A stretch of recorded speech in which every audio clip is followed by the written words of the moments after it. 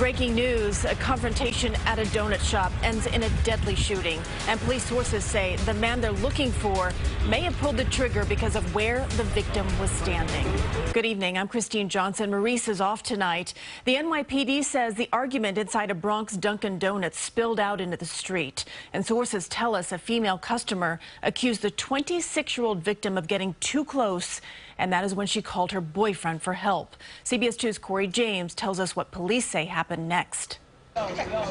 Balloons and candles were placed in front of 26-year-old Stephen Stewart's home. His family and friends who did not want their faces shown stood on the stoop and sidewalk mourning the loss, trying to understand why anyone would shoot their loved one, originally from Jamaica, who moved to the Bronx just three months ago.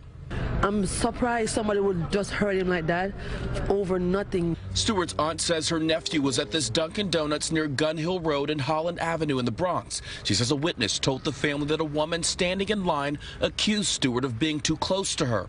Police say that woman then called her boyfriend, who then followed Stewart. Officers say they exchanged words before the suspect shot him about two blocks away. It's just sad. It's just sad. This neighbor says violence in this area happens often. So I don't really feel safe, especially at night. During the day, yeah, taking the kids to school and bringing them back home, but not at night.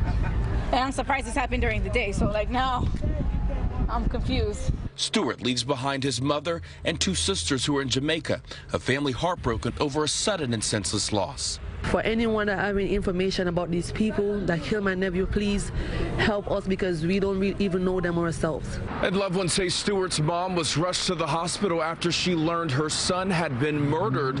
We're told he worked here in the city at a restaurant to support his family in Jamaica. In the Williamsbridge section of the Bronx, Cory James, CBS 2 News. And police say that there is video inside the store that shows the woman and the victim had no physical contact. That video has not been released at this hour.